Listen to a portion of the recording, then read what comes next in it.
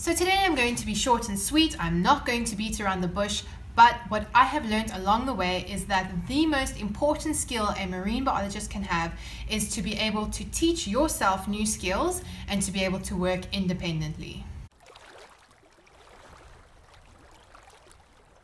So yes, once you leave school and you start your path onto becoming a marine biologist, inevitably you'll probably spend a couple of years at university. And while here, you will learn from some seriously smart lecturers about the big things in the oceans. You'll learn important scientific theories, important ecological concepts. You'll learn how to set up a hypothesis, maybe how to run an experiment, how to analyze your data, and hopefully you'll learn the value of statistics. So you'll learn a couple of things along the way.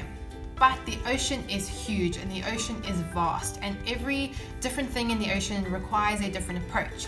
So, for example, if you want to look at the diet of a clownfish versus the diet of a great white shark, you are going to need completely different techniques, completely different approaches for these different species. And not only when you're looking at different species, but even if you're just focusing on one species and you want to look at different facets. For example, maybe you want to know what the species eats, how it interacts with other species, how it behaves, maybe what age it reaches sexual maturity. All of these different things require different approaches. So there's no way you can develop all the skills, know how to approach all the different species, all the different aspects of the oceans at university.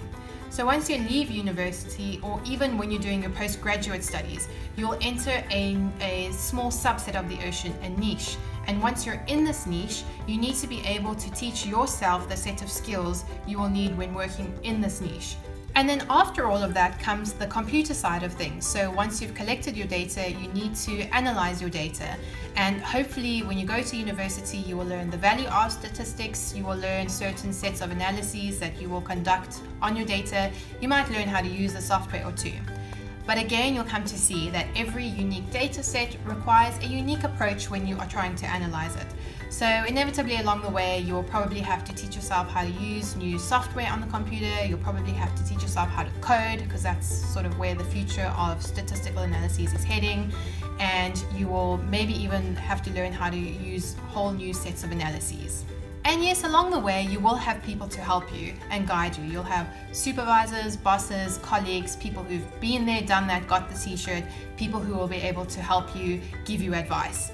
But you know, when it comes to science, the point is that you are adding new knowledge, you're doing something new, you are breaking scientific boundaries. So there will always come a time when people haven't done what you are trying to do, and you will need to figure out a method, you will need to figure out how to do what you need to do.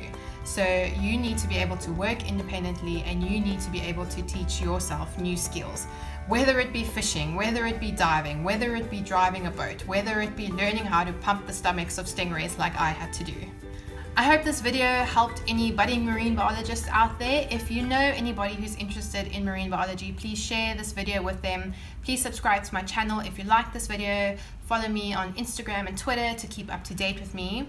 And until next time, I hope you all have a happy day.